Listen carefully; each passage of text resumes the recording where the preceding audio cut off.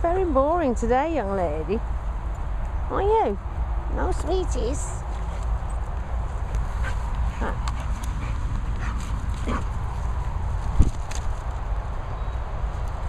I'm playing.